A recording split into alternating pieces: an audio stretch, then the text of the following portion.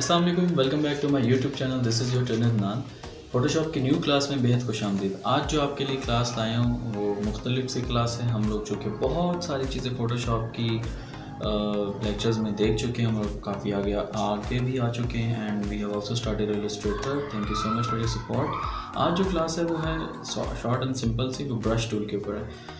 मैं आपने देखा होगा मेरे आर्टवर्क में बहुत सारे डिफरेंट डिफरेंट ब्रशेज़ यूज़ करता हूँ। तो आज जो मेरे पास ब्रश टूल के हवाले से है, वो कुछ सिंपल सिंपल ट्रिक है।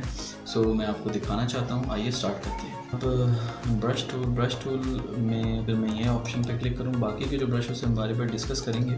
लेकिन इसमें हम देखें तो ये सिंपल कुछ ब्रशेज़ अवेलेबल हैं मेरे पास, ठीक है? लाइक like, मेरे पास ये ऑप्शन आ रही है जनरल ब्रश की ड्राई ब्रश की वेट ब्रश की इनके अपने ब्रश अवेलेबल होते हैं फोटोशॉप में। लेट्स सपोज़ ये वाला ब्रश लेते हैं और ये साइज़ है कि ब्रश कितना बड़ा होगा और ये उसकी हार्डनेस है किस तरह से वो हार्डली रिएक्ट करता है। लाइक अगर मैं ये करूँ तो देखें हार्डनेस ज़्यादा थी इस वजह से कर रहा है। मुझे अगर हार्डनेस नहीं चाहिए मैं इसको कम करता हूँ तो ये देखें कम हो गया। इसी के साथ अगर मैं ये इफ़ेक्ट यूज़ करूँ तो आप ये देखें ये भी हो रहा है ठीक है? तो ये एक नहीं है, लेकिन मैं इस पर टाइम वेस्ट नहीं करूँगा। मुझे इस पर ज़रा भी मज़ा नहीं आ रहा। मैं आपको वो काम दिखा देता हूँ जो कि बड़ा डिफरेंट सा एक चीज़ है।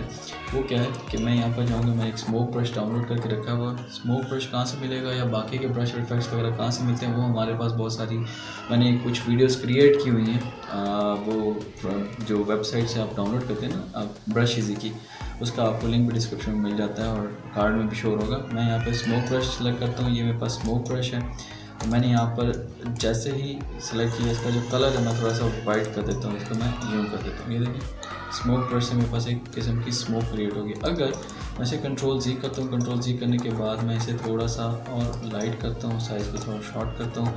यहाँ से ब्रश का कोई और सैंपल लेता हूँ तो फिर देखते हैं कैसा बनता है। तो इन तरीक़ों से जो है वो हमारे पास डिफरेंट डिफरेंट क्रिएट हो सकते हैं। अगर आप गौर करें तो ये सारे का सारा जो है वो एक किस्म का हमारे पास स्मोक क्रिएट हो चुका है उस ब्रश के साथ, ठीक है?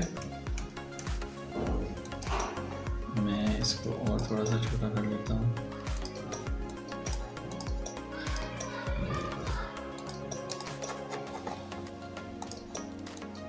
ये देखें तो एक बिल्कुल स्मोकी सा इफ़ेक्ट बन चुका हुआ है तो ये स्मोक ब्रश से ही पॉसिबल है। सो मज़ीद जो टिप्स हैं, वो ट्रिक्स हैं, वो हम लोग आने वाली वीडियोस में देखते रहेंगे। तब तक के लिए वीडियोस को लाइक सब्सक्राइब और शेयर करना मत भूलिएगा। और अपना बेहतर ख्याल कीजिएगा टेक केयर अल्लाह हाफ़